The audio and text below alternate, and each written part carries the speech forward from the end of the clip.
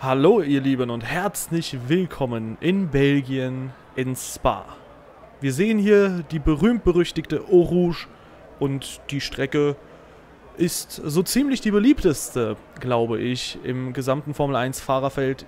Zumindest Kimi Räikkönen dürfte ein Riesenfan sein, aber auch alle anderen lieben es, hier zu fahren. Die schnellen Kurven, allein die Eau Rouge, auch wenn man mittlerweile das Gas nicht mehr lupfen muss, sondern einfach voll durchfahren kann. Ich glaube, auch das hat seinen Reiz.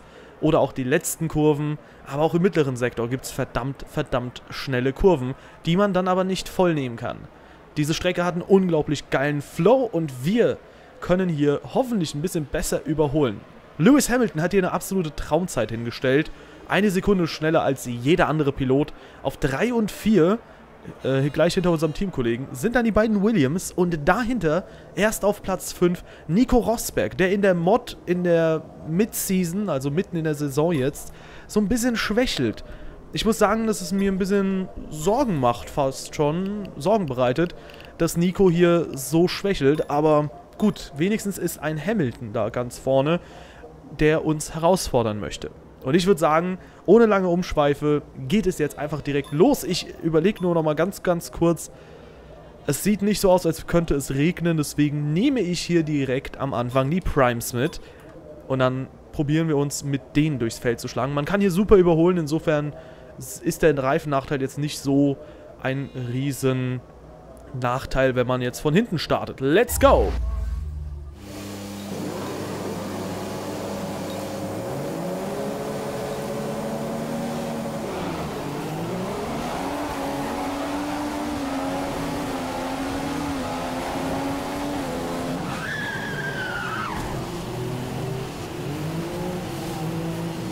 Schon wieder war der Start nicht gut. Trotzdem Überholmanöver hinbekommen. Die erste Kurve sieht dann immer wieder ein bisschen besser aus. In F1 2016 sind die Starts dann wieder ganz anders. Also ich muss mich hier nicht mehr an die Starts gewöhnen. Das ist kein Problem, dass ich die hier nicht kann. Und Jensen Button. Da bin ich kurz aufs Gras gekommen. Ja, aber wir sehen, trotz vollen Tank fahren wir hier 360 auf der Camel Straight und überholen damit drei Fahrzeuge. Zwei McLaren Honda und ein Manor. Gut, McLaren Honda hier zu überholen auf der Geraden ist nicht so die schwierigste Aufgabe. Die nächsten Fahrzeuge werden ein bisschen schwieriger zu überholen sein. Nico Hülkenberg. Aber trotzdem, 360 km/h macht jetzt schon Spaß.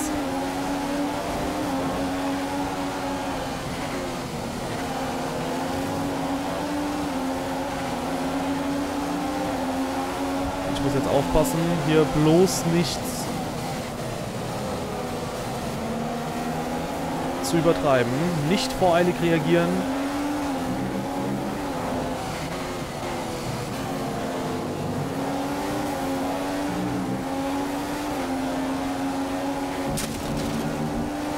Ja, da habe ich das... Da habe ich die Kurve nicht so gut bekommen.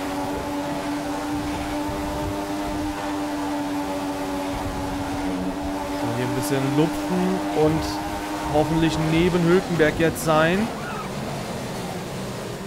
Muss da aufpassen, Magnussen nicht in die Kiste zu rauschen. Und wir haben Nico Hülkenberg im Moment. Wir haben ihn überholt.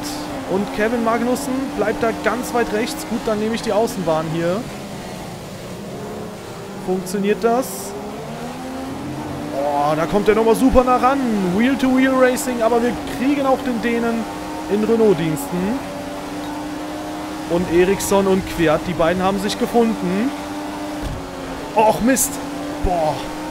Alter Schwede, dass da nicht mehr passiert ist. Oh mein Gott.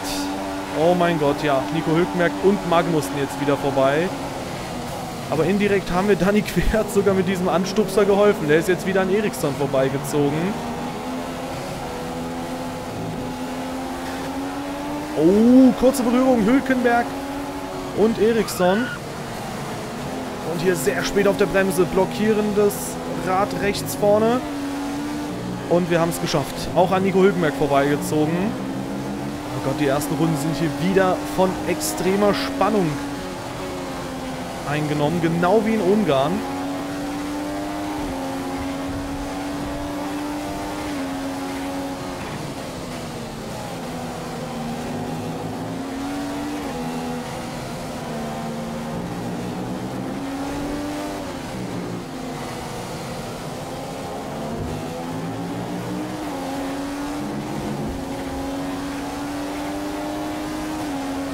So, eine gute Sekunde Rückstand jetzt noch zu Danny Quert.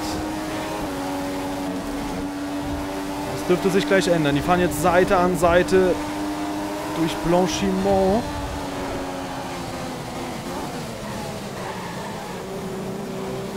Und wir sind vorbei an Magnussen, der Leidtragende aus dem Quert-Überholmanöver.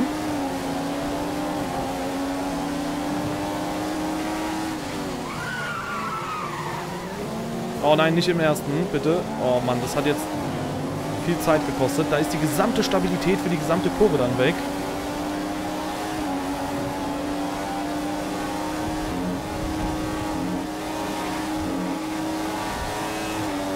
Oh, gelbe Flaggen. Oh nein, ich darf ja nicht überholen.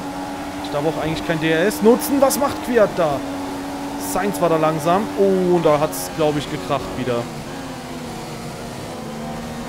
Und hier steht Hamilton. Den habe ich noch angesprochen hier, aber trotzdem ist er hier am Streckenrand. Und damit ist der neue Führende wieder einmal unser Teamkollege Kimi Räikkönen. Wahrscheinlich dann, ich lege mich langsam fest, wahrscheinlich unser größter Konkurrent im Titelkampf. Das Ganze irritiert mich so hart, dass ich hier wieder den kompletten Anschluss zu Dani Quert verloren habe. Meine Fresse, was ist denn hier los?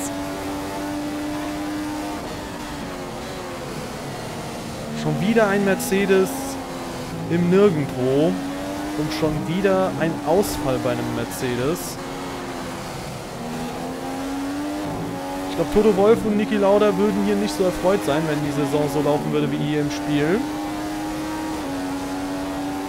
Wobei die, die aktuelle Pace von Sebastian Vettel doch ganz gerne sehen würden. Der hier gleich von Magnussen kassiert wird, wenn er sich nicht anstrengt.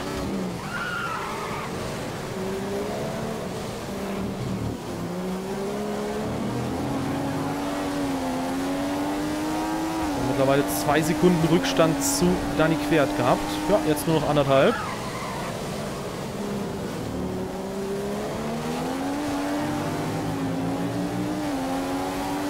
Dritten Sektor geht es halt häufig geradeaus. Aber zumindest muss man da einfach einen Bleifuß haben meistens. Och Mann, und jetzt schon wieder eine gelbe Flagge. Was ist denn jetzt schon wieder passiert? Oh Mann. Da liegt Palmer mitten auf der Strecke. Und da ist noch ein Fahrzeug gewesen, das jetzt ausgeschieden ist. Wir sind nämlich von 11 auf, auf 9 nach vorne gerutscht. Was ist denn hier los? Was ist denn hier bitte los? Meine Güte, ey. Da kriegt man ja Todesangst. Man möchte ja einerseits nicht so viel Zeit verlieren, andererseits denkt man sich, okay, wer weiß, wo die Leute rumliegen. Und in dieser Situation war Palmer mitten auf der Strecke. Und da hätte es definitiv zumindest ein Virtual Safety Car gegeben in F1 2016. Und wenn da sowas ähnliches wie hier passiert, dann dürfen wir uns darauf auf jeden Fall freuen.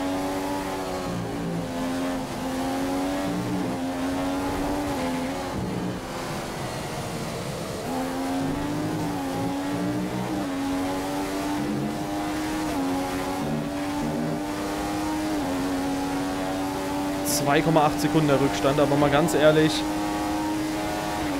kann die bisherigen Rundenzeiten auch nicht wirklich miteinander vergleichen. Wir haben in jeder Runde gelbe Flaggen gehabt. Wir mussten in jeder Runde mal ein oder zwei Leuten ausweichen. Ich war immer wieder irritiert.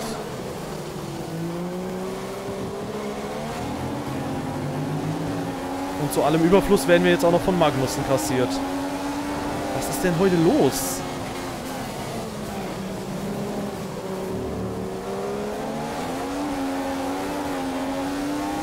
Ich habe zwar die härteren Reifen, aber warum bin ich denn so langsam?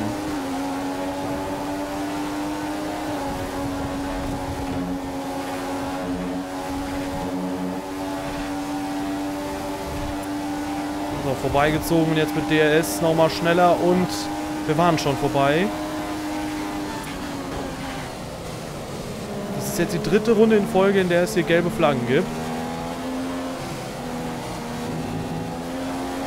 Oh, aufpassen. Da ist ein Sauber. Und ein Williams und Danny Quert dreht sich. Was machen die alle denn hier bitte? An Hülkenberg? Wann bin ich denn an Hülkenberg vorbei?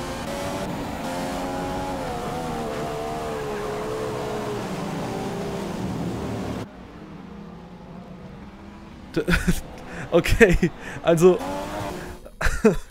okay. Also gut, dann, äh... Ja gut, Magnussen, überhol mich einfach, ne? Ist ja nicht so, als würde, wurden gerade gelbe Flaggen geschwenkt. Muss, kann man ja ignorieren. Also irgendwas geht hier gerade ganz groß schief und schon wieder gelbe Flaggen.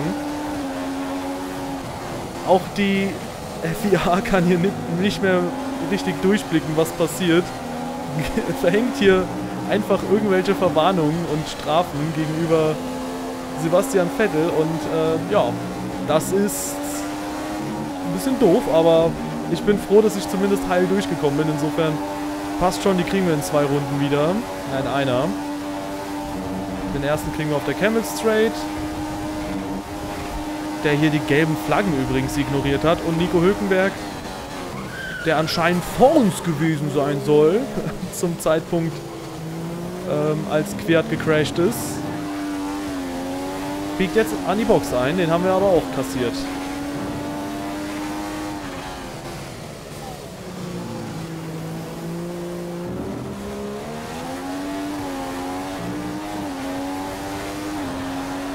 So, Max Verstappen ist fünf Runden gefahren und auch an der Box gewesen. Hamilton jetzt unmittelbar hinter uns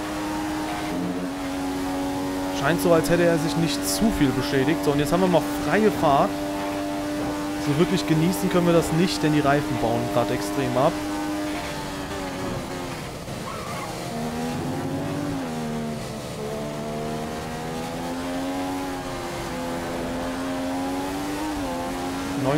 Sekunden der Rückstand zu Daniel Ricciardo. Hamilton mit viereinhalb Sekunden Vorsprung, äh, Rückstand seinerseits.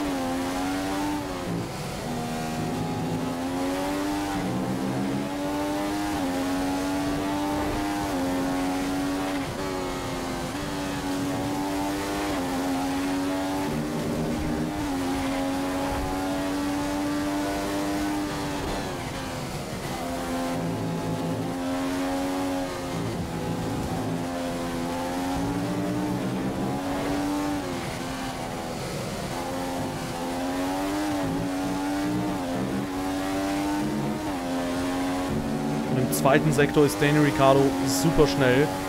Hat wahrscheinlich viel weniger, äh, viel mehr Flügel dabei, meine ich. Und natürlich hat er, denke ich zumindest mal, die weichere Reifenmischung.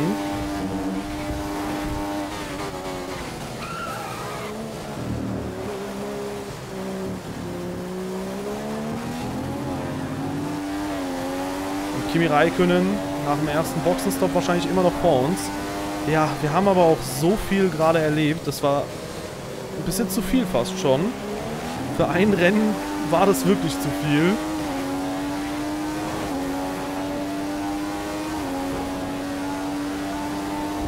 Alter, wie viele Kollisionen gab es denn hier bitte? Das ist unglaublich. Unglaublich einfach nur. Jetzt haben wir einen Williams unmittelbar vor uns.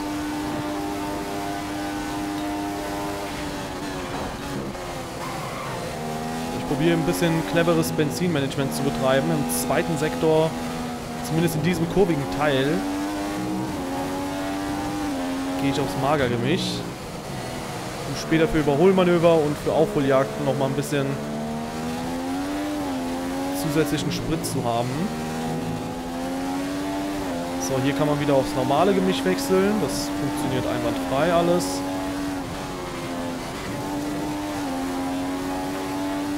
Valtteri Bottas zieht hier mit frischen Reifen davon. Ja, ich habe überlegt, vielleicht könnten wir ja angreifen. Pustekuchen. Also Raikkonen und Bottas nach sechs Runden drin. Damit nehme ich mal an, wird Raikkonen jetzt nochmal sieben Runden fahren und dann neun Runden auf dem harten fahren. Ich weiß es nicht so genau. Bei uns steht hier acht. Das heißt, ich werde wenn ich jetzt zweimal weich fahren möchte, zweimal sieben Runden fahren müssen.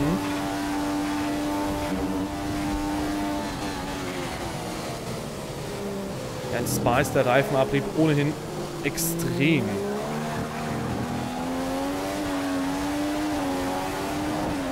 Ja, und der Effekt des Reifenabriebs natürlich auch, denn du hast wenig Flügel dabei und wenn du jetzt mit schlechten Reifen fährst, macht sich das umso mehr bemerkbar, weil dein Heck extrem unruhig ist, ohnehin schon. Und ich sehe da vorne einen Nico Rosberg. Ich habe absolut keine Ahnung, wo wir in diesem Rennen landen werden, muss ich ehrlich gesagt zugeben. Ich finde aber, die Spa-Rennen sind bis jetzt so mit die spannendsten oder die am unvorhergesehensten. In der Renault-Saison war es schon so und in der Saison hatten wir schon einige unvorhergesehene Rennen, aber was da vorhin passiert ist alles und was das für Verschiebungen alles auch äh, mit sich bringt, das übersteigt nochmal alles, was wir bis jetzt in der Saison gesehen haben.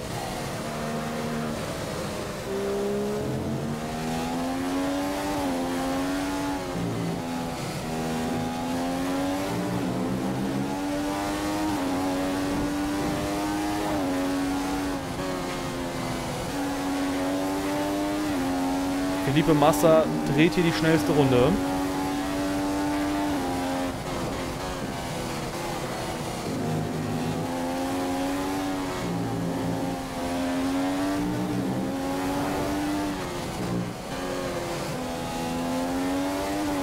Ich hatte damit gerechnet, dass wir in Belgien super gut nach vorne kommen.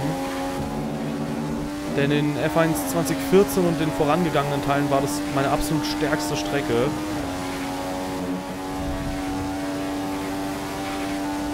Hier ist es vielleicht auch noch so, aber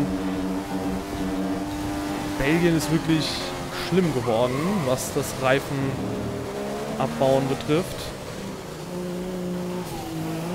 Geht fast so schnell voran wie der Regenwaldabbau in Brasilien, im Amazonas. Aber jetzt kriegen wir zum Glück frische Reifen. Verstappen fährt noch ein Ründchen.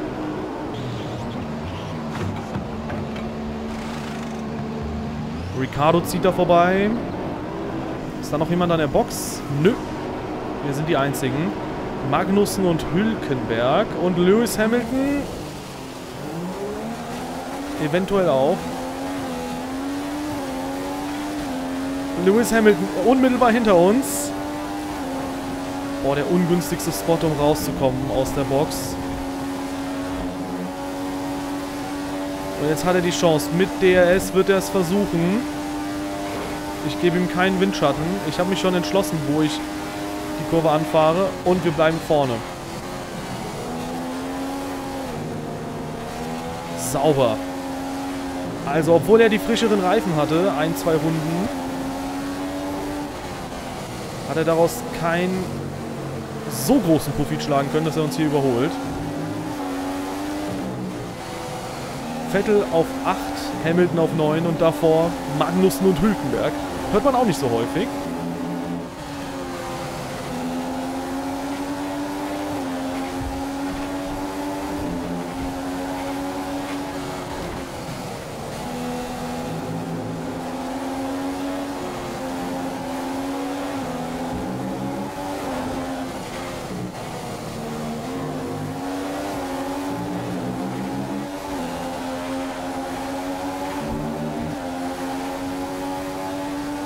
So, und erneut das Überholmanöver gegen Magnussen im letzten Sektor. Dieses Mal außen.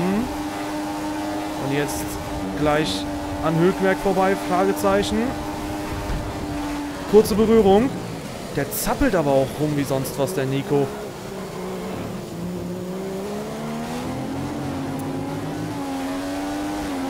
So, schönes Überholmanöver, auch gegen Nico Hülkenberg. Absolute Bestzeit im letzten Sektor, mit so viel Windschatten kein Wunder.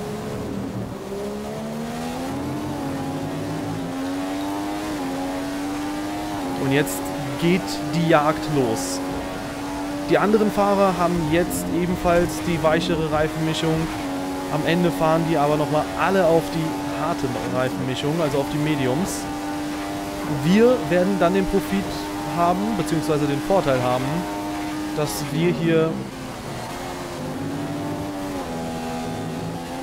entsprechend mit den weichen Reifen nochmal am Ende fahren werden. Und das heißt, für uns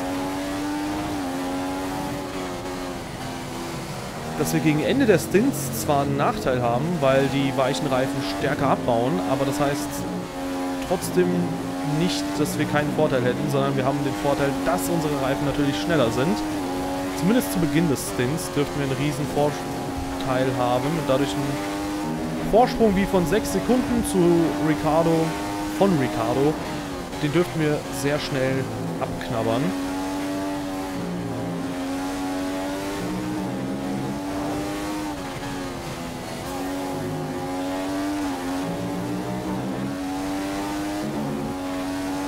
Zweiten Sektor fahre ich jetzt mit den weichen Reifen 2,2 Sekunden schneller. Und ich komme sogar näher an Danny Ricciardo. Also das ist schon mal eine Hausnummer. Das zeigt, was für ein Unterschied zwischen den Reifen gegeben ist.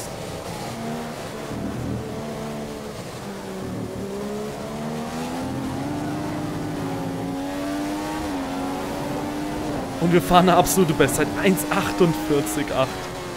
Okay, scheinbar bin ich in Spa doch ganz gut unterwegs. Nur halt auf den härteren Reifen nicht unbedingt. Ich weiß nicht, was Raikönnen davor gefahren ist, aber eine 1,48,8 garantiert nicht.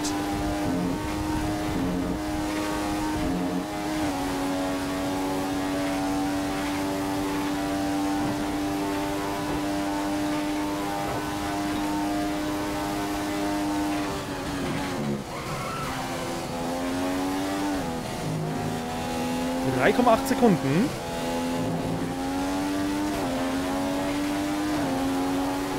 Daniel Ricciardo verliert hier echt extrem viel Zeit. 2,2 Sekunden haben wir jetzt aufgeholt in vier Sektoren, glaube ich.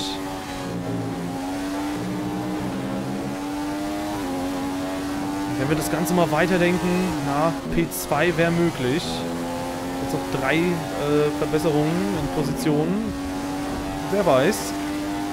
Kimi Räikkönen wird wie immer der letzte Mann sein, den es zu schlagen gilt für den Sieg.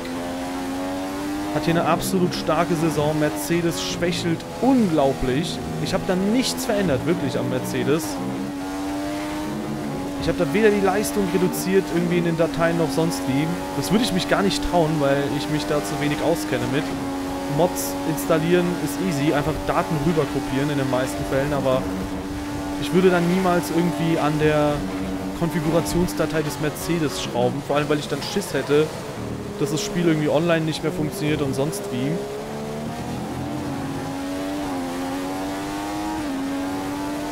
So, und wen überholt Danny Ricciardo jetzt hier? Ist das ein Überrundeter oder... Nein, ist es nicht. Das ist Valtteri Bottas. Der scheinbar auf einer 3-Stop unterwegs ist. Runde 11. Zweiter Boxenstopp. Das ist aussagekräftig genug. Hier gibt es Trümmerteile. Und es gibt eine gelbe Flagge. Überholverbot. Und Eriksson ist draußen. Und gelb ist verstrichen. Wir kommen an Bottas ran. Und kommen an Bottas vorbei. Und da haben wir Felipe Massa und Ricardo fährt ihm voll ins Heck. Was macht der denn? Was war das denn? Ich bitte euch, okay, vielleicht ist die KI von F1 2015 nicht gut, aber so dumm können die doch auch nicht sein, Mann. Der nimmt jedes Fahrzeug mit. Der fährt jedem Fahrzeug ins Heck. Wie dumm ist der Typ denn bitte? Und Kimi Räikkönen hat es auch erwischt. Ich glaub's nicht. Ich glaub's nicht. Was ist denn hier los? Was machten die Leute hier? Die fahren gerade retarded as beep Ja, und ich gerade auch. Ey, man merkt, sobald irgendwas passiert, was mich sowas von irritiert, verkacke ich die nächsten zwei, drei Kurven. Oder die nächste halbe Runde. Ja, sechs Sekunden verloren im mittleren Sektor. Das hätte nicht sein müssen. So, okay, jetzt.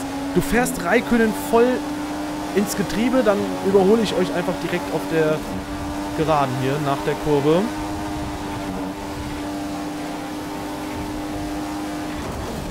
Raikönnen wahrscheinlich mit einem leicht beschädigten Frontflügel. Und Nutznießer dieser ganzen Situation hier ist Nico Rosberg. Tatsache, der deutsche Pilot, der bis jetzt in der Saison anfangs ganz gut aussah, später dann sehr, sehr stark in der Formkurve abgefallen ist, führt jetzt das Rennen hier an. Eieiei, die ganzen Trümmerteile. Es sind, glaube ich, immer noch welche dazugekommen. 17 Fahrzeuge mittlerweile nur noch im Feld. Ich glaube, das habe ich auch noch nicht erlebt, dass drei Fahrzeuge hier ausscheiden. Eines kann mal passieren. Zwei geht auch. Drei ist wirklich schon krass. Und die Frage ist jetzt, können wir uns gegen Nico Rosberg hier durchsetzen? Also wirklich, es kann auch, glaube ich, nicht am Mod liegen, weil wer die Renault-Saison gesehen hat, der weiß, die waren hier alle komplett ordnungsgemäß unterwegs. Da gab es vielleicht mal einen Crash, aber das war es auch dann. Ja, Bottas hat irgendwie ein Loch in der Nase. Hat er zu viel gepopelt, oder wie? Auf der Suche nach Gold.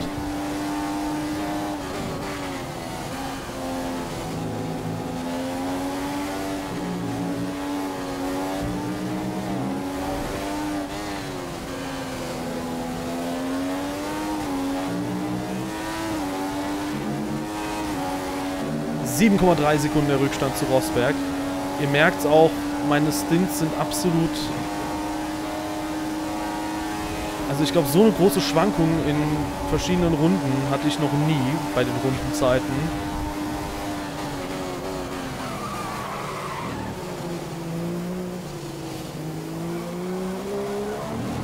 Aber hey, der Zweikampf gegen Valtteri Bottas ist absolut phänomenal.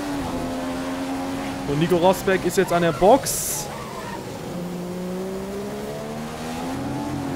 Dadurch sind wir in Führung gegangen.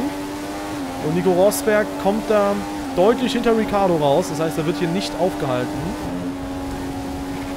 Raikkonen hatte das Glück, dass er hier vielleicht...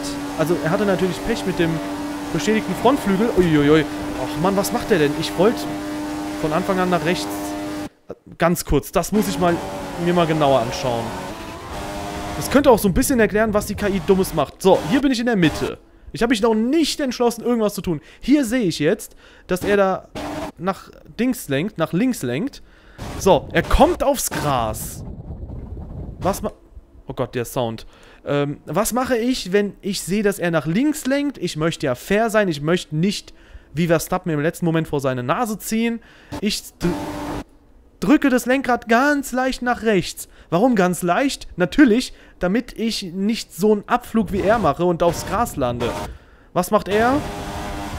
Fährt mir einfach voll in die Kiste. Ist jetzt immer noch neben mir, aber ich wollte nur mal analysiert haben, was die KI hier teilweise für retardete Sachen macht. Oh, ja, komm. Wow. Das, das war jetzt also ich hoffe, dafür kriegt er jetzt eine Strafe. Das war jetzt absolut unfair. Eieiei, wie viele Verwarnungen gibt es denn hier bitte? Massa. Mehrere Strafen erhalten disqualifiziert. Es sind mittlerweile nur noch 16 Fahrzeuge unterwegs übrigens. Ja, und Bottas.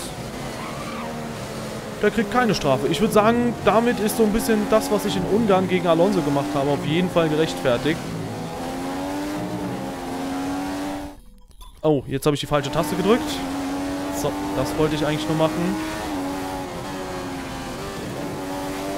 Ha, die hatten den Boxenstopp auf Runde 13 vorverlegt, oder wie? Ne, wenn schon, dann fahre ich jetzt auch wirklich bis Runde 15 und nehme dann die 2-Stop mit zweimal äh, Options. Wenn nicht permanent irgendwelche Leute andere über den Haufen fahren würden, dann wäre das kein Problem. Dann könnte ich mich auch viel besser aufs Rennen konzentrieren. Das ist dann sowas, was einem professionellen Rennfahrer, der auch in der Formel 1 unterwegs ist, möglich ist. Der kann das alles ausblenden, der kann die schnellen Rundenzeiten weiterhin fahren, der lässt sich von sowas nicht beirren. Als jemand, der noch nie ein richtiges Profirennen gefahren ist. Ich war zwar im Kartsport eine sehr lange Zeit, ja gut, sehr lange, ja, vergesst, vergesst die Formulierung, das ist so, ein, so eine Floskel, die man automatisch irgendwie einbaut. Ich war zwar eine Weile im Kartsport unterwegs, auch ähm, ja, auf Amateurebene kann man sagen, aber natürlich fehlt dir trotzdem die Erfahrung, dass du mit sowas umgehst. Dass jetzt plötzlich alle neben dir Riot gehen.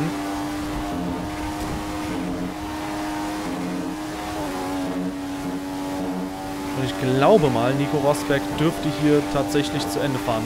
Da können wir mal ganz, ganz kurz schauen. Sorry, dass ich so oft pausiere, aber muss sein. Ähm, Nico Rosberg fährt Primes. Raikönnen fährt Options. Also Raikönnen wird nochmal stoppen.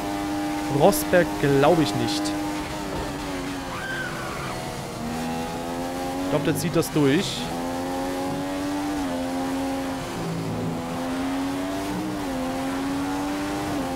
Von Valtteri Bottas. Der Mann, der uns hier so unfair überholt hatte.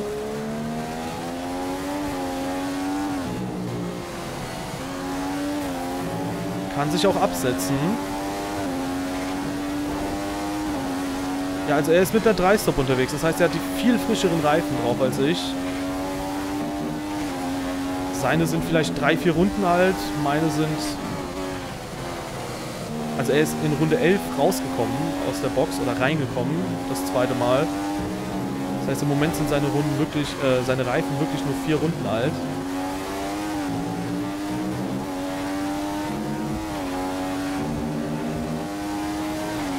Also ich fahre trotzdem den größten Mistfahrt zusammen. Klar, viereinhalb Sekunden nur noch der Vorsprung zu Rosberg.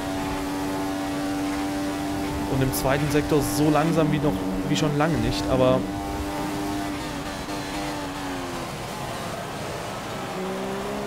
Nein, jetzt habe ich auf die Bremsverteilung geklickt. Ganz kurz pausieren wir an der Stelle und zwischenspeichern, weil ich möchte definitiv die weichen Reifen haben. Wenn ich jetzt nicht die reichen Reifen bekomme, dann starte ich da nochmal an der Stelle neu.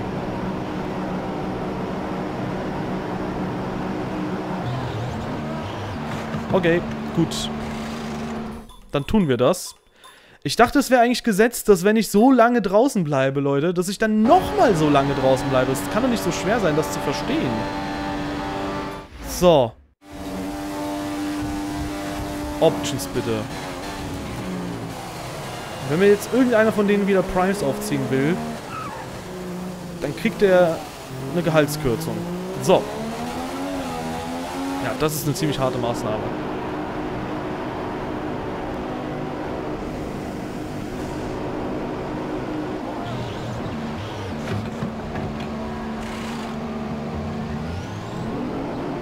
Okay, ich kann nur hoffen, dass wir jetzt nochmal nach vorne kommen und dass ich mich jetzt richtig konzentrieren kann, weil sogar Hamilton zum Beispiel an uns vorbeigezogen ist und zwar super deutlich auch noch.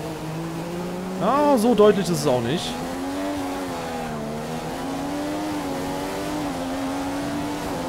Aber ich muss echt sagen, dieses Rennen, trotz der ganzen komischen Situation und obwohl ich ja fahrerisch nicht mehr irgendwie mich konzentrieren kann, weil so viel passiert einfach, es macht mega Spaß, weil, weiß nicht. Denkt mal an Runde 5 zurück. Was hättet ihr da getippt? Wie viel da werden wir am Ende? Denkt mal an Runde 10. Was hättet ihr da gedacht? Und jetzt weiß ich immer noch nicht, wo ich ins Ziel kommen werde. Ob ich jetzt Erster werde oder Dritter oder Sechster, vielleicht werde ich nochmal von irgendjemandem kassiert, weil ich so, weil ich mich wieder nicht konzentrieren kann, weil hier wieder gleich irgendeiner megamäßig abfliegt vor meiner Nase.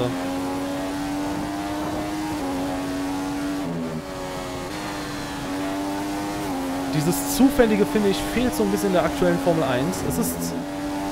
Es geht zu sehr in gesetzte Bahnen. Du siehst keine Rennsieger mehr, die du nicht erwartet hättest.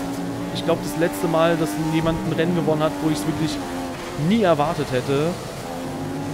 Ja, okay, gut, da kann man Max Verstappen in Barcelona nehmen, okay. Äh, da könnte man vielleicht Singapur 2015 nehmen, wobei da war nach den Trainings klar, dass Ferrari einfach deutlich stärker ist. Ähm, da könnte man aber zurückdenken an vielleicht Raikönnen in Spa 2009. Da war der Ferrari wirklich richtig schwach. Aber vielleicht muss man auch gar nicht so weit zurückgehen und kann an 2000...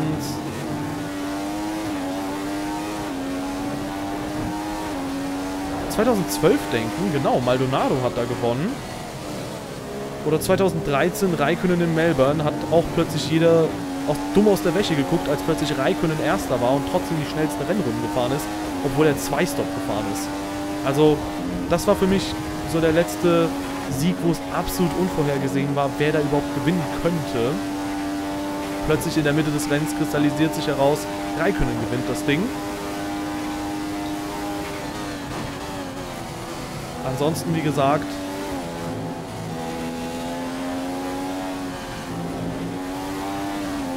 ...2012 Maldonado gehört für mich so ein bisschen dazu, klar. 2012 hatte auch Nico Hülkenberg eine Chance, in Brasilien zu gewinnen.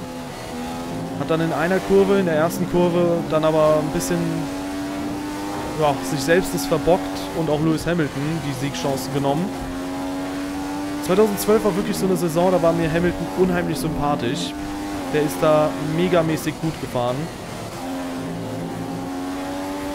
Hat da, glaube ich, keinen einzigen Fehler gemacht, aber durch die Fehler vom Team hat er einfach so viele Punkte verloren. Man denke zurück an verschiedene Boxenstops, die einfach mega schlecht waren. In Bahrain, in Monaco. Da hat er megamäßig viele Punkte verloren, vor allem in Monaco. Weil du dann nicht mehr überholen kannst. Man denke zurück an sowas wie Barcelona, äh, Catalunya, wo er die Pole geholt hat, auch noch mit über einer halben Sekunde Vorsprung oder so. Und dann wurde ihm die Zeit aberkannt, weil er zu wenig Sprit dabei hatte. Und wer tankt den Sprit nach? Natürlich das Team. Und da war wieder das Team schuld, dass er nicht die Pole bekommen hat. Ansonsten hätte er das Rennen, glaube ich, locker dominiert, denn er ist mit zwei Stops äh, von 24 auf 8 vorgefahren, glaube ich. Sogar vor Jensen Button, der da in den Top 10 irgendwo gestartet ist, sein damaliger Teamkollege. Ich muss sagen, 2012 war Hamilton wirklich unglaublich gut unterwegs und ist da auch fair gefahren. Also das ist ja das Ding, was mich so ein bisschen ankotzt am aktuellen Mercedes-Duell, ähm, dass beide nie wirklich mit so sauberen Waffen kämpfen. Also das ist halt wirklich was, was mich stört. Denn wenn ich mir mal Kanada anschaue oder auch Österreich, dann denke ich mir immer so, okay, es gab natürlich auch ikonische Momente zwischen Senna und Prost.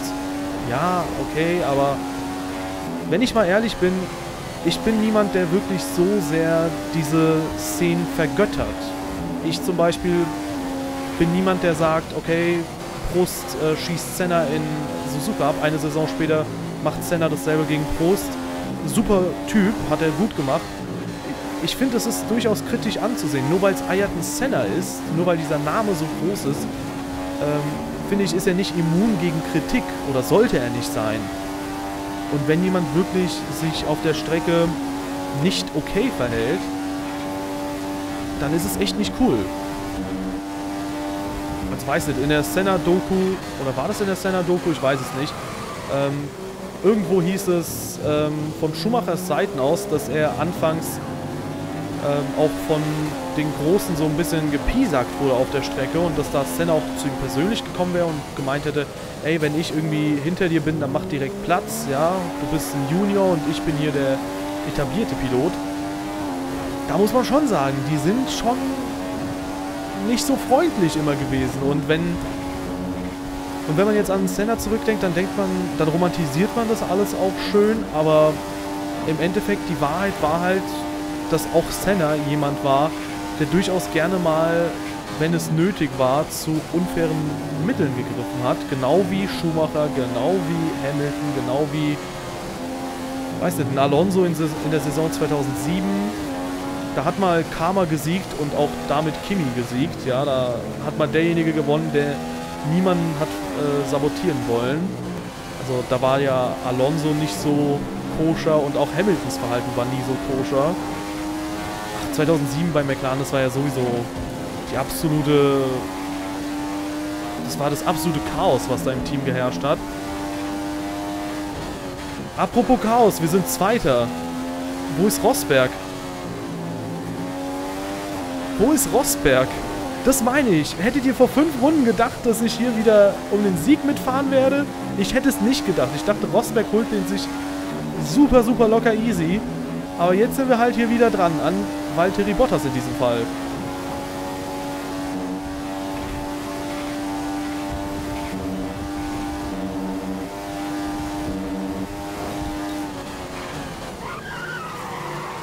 Ja, wieder geht es hier um einen Sieg mit dem Finnen. Also die Finnen sind in dieser Saison auch gut unterwegs in der Mod.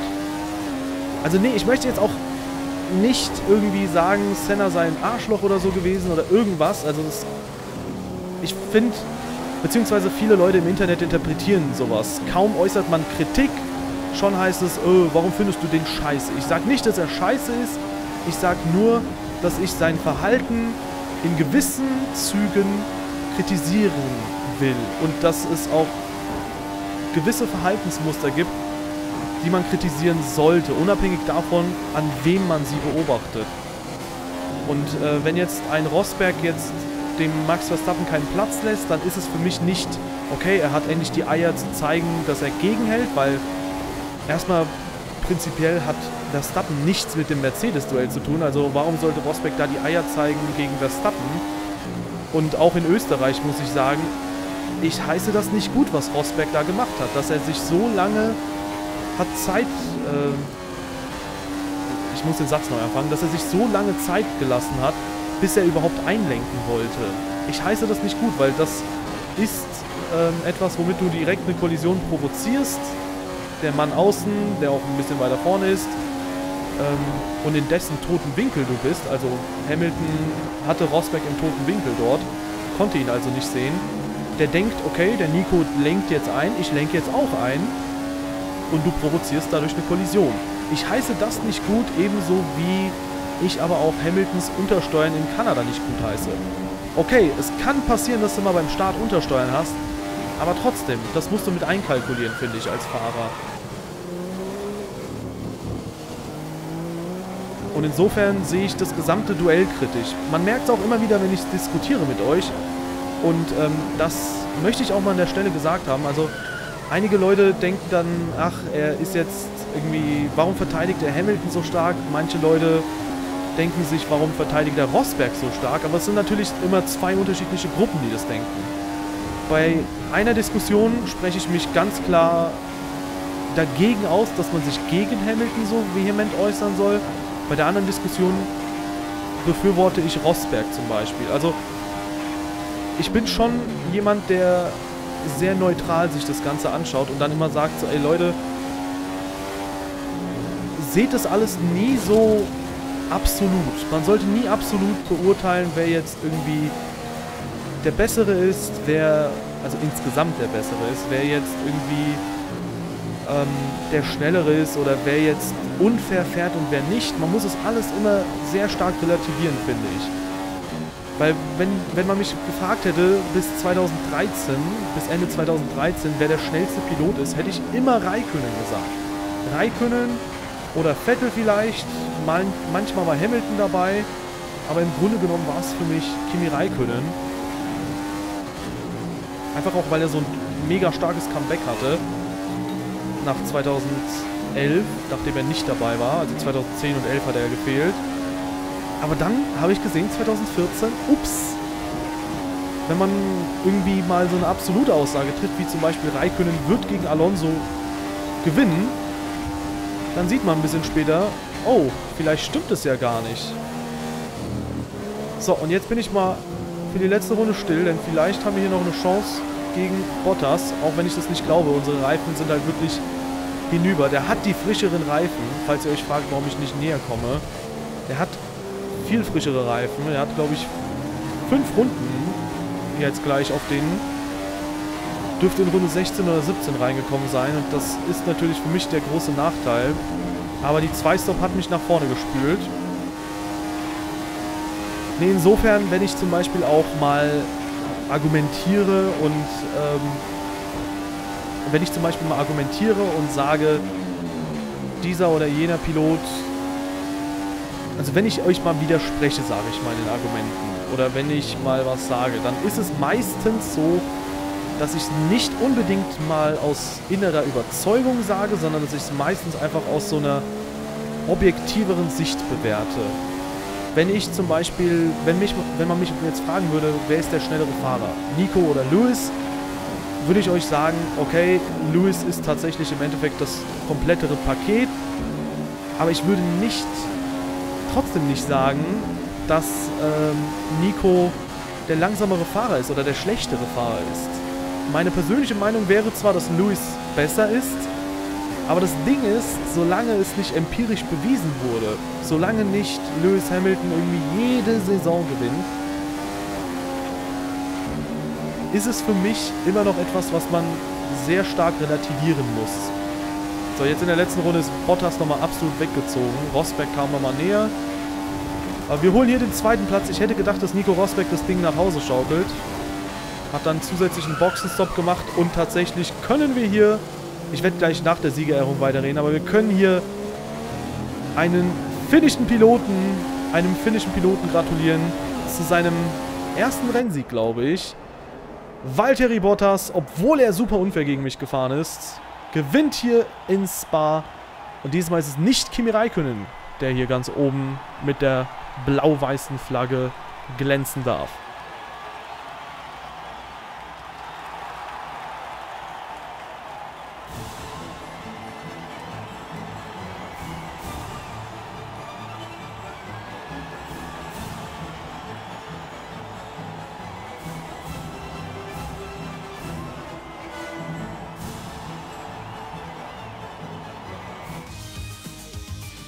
So, damit wirklich Gratulation an Valtteri Bottas. Raikönnen kriegt hier noch eine Strafe, ist somit von P4 auf 5 abgerutscht und da hinten hat noch einer eine Strafe bekommen.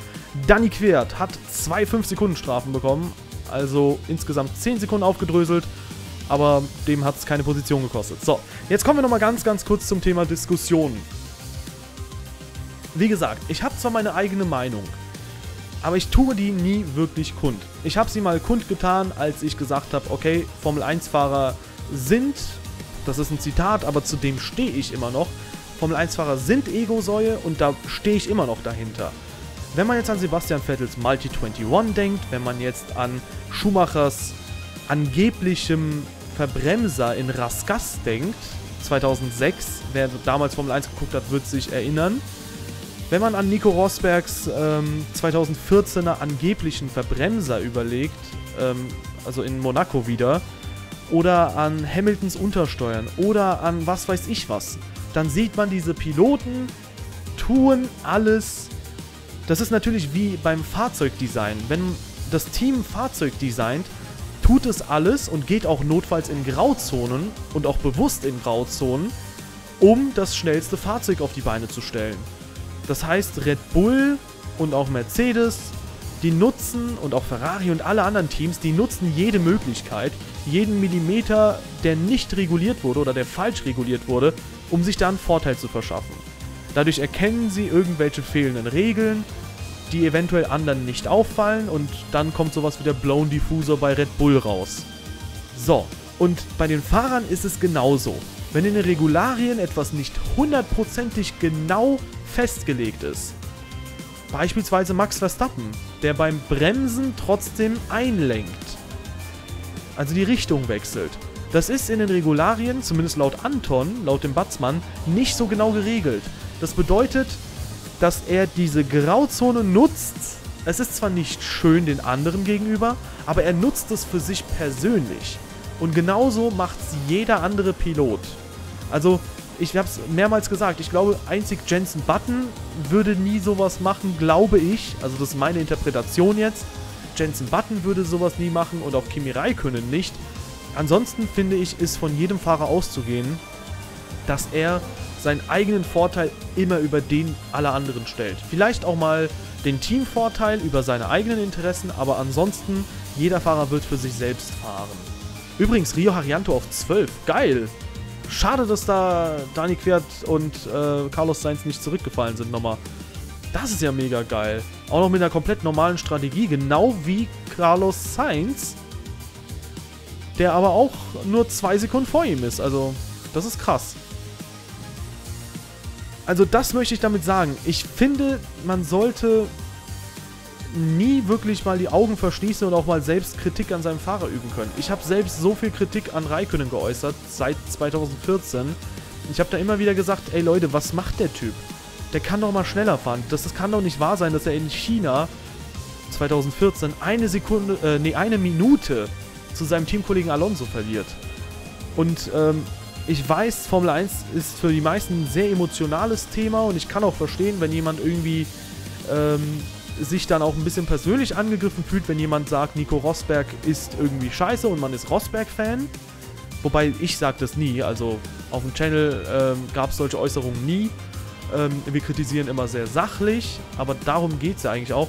Übrigens, was sind die für Zeiten noch gefahren? Raikönnen 1.46.1, das muss der Bug der letzten Runde sein. Nee, aber das Ding ist, ja, das ist der Bug der letzten Runde. Ich habe mich schon gewundert, weil meine 1.48.8 hat bis zur letzten Runde noch äh, Gültigkeit gehabt als schnellste Rennrunde. Ähm, ja, das Ding ist, wenn man einen Fahrer kritisiert, dann sollte man es nie persönlich nehmen, finde ich. Weiß nicht, ob es jetzt Raikönnen ist oder sonst wer. Ich selbst übe auch Kritik an meinem Lieblingsfahrer. Und ähm, man sollte da sehr dediziert an solche Situationen rangehen und ähm, ja, wie gesagt, wenn ich persönlich auch immer wieder kommentiere, dann ist es einfach nur, um diese Situation zu beschwichtigen. Wie gesagt, wenn jemand sagt, Hamilton ist die größte Mistsau, Rosberg ist besser, dann sage ich, hey Dude, schalt mal einen Gang runter. Hamilton ist immerhin derjenige, der die letzten zwei Jahre dominiert hat. Wenn dann aber jemand kommt und sagt, Hamilton ist der absolute Knaller und Rosberg ist der letzte Rotzberg, dann sage ich, ey Dude, halt mal, bleib mal ruhig, Nico Rosberg hatte bis zu einem gewissen Punkt immer noch mehr Punkte als Hamilton. Gut, jetzt hat sich das zwar geändert, jetzt ist die Argumentationsgrundlage dann eine andere, aber dann kann man zum Beispiel sagen, dass Nico Rosberg über die Jahre hinweg auch nur minimal langsamer war als Hamilton. So ist es ja tatsächlich auch. Ein, zwei Zehntel pro Runde maximal oder ein, zwei Sekunden pro Rennen. So, lang, äh, so weit lagen die immer wieder auseinander. Das ist für mich nichts. Also da lässt sich nicht irgendwie diskutieren, wer jetzt besser oder schlechter ist, sondern die beiden sind auf einem absolut hohen Niveau und wenn man über Mercedes diskutiert, finde ich, sollte man einfach die Leistung beider anerkennen, kritisieren, dass beide einfach sich auch mega unfair verhalten können, aber man sollte auf jeden Fall die Leistung des jeweils anderen respektieren. So, egal, genug gequatscht, ich wollte nicht so lange reden, so ausufernd. Wir haben ein cooles Rennen heute gesehen, wir haben unglaublich viele Verschiebungen gehabt, inklusive der Verschiebung, dass Bottas mit seinem ersten Rennsieg wieder an Hamilton vorbei ist. Gratulation an der Stelle nochmal an den Finnen. Und wir haben hier ja, bei der Konstrukteurswertung dasselbe Bild wie beim letzten Mal. Alonso ist vorbei an Nasser. Und ich bedanke mich mal wieder fürs Zuschauen. Ich hoffe, es hat euch sehr gut gefallen. Wenn es euch gefallen hat, unterstützt das Video und auch die kommenden mit einem Däumchen nach oben. Und ansonsten würde ich sagen, macht's gut.